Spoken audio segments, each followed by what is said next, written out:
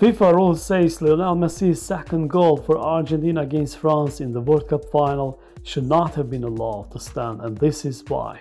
Hey guys, once again, welcome back to the channel.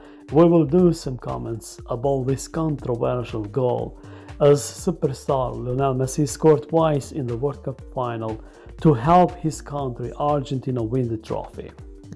But Messi's second goal should not have been allowed to stand as France were denied an historic comeback.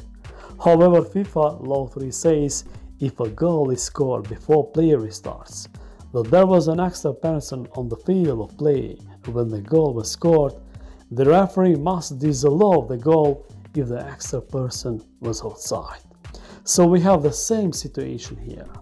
Okay, Argentina beat France on penalties to win World Cup in Qatar on Sunday. Lionel Messi scored twice in the final, but Messi's second goal was controversial and this is why two Argentina substitutes appeared on the pitch before the ball went in.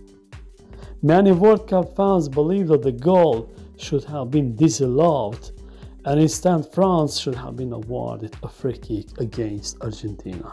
However guys, you can leave your comments and I would like to thank you for watching this video in support of like the video and subscribe for more.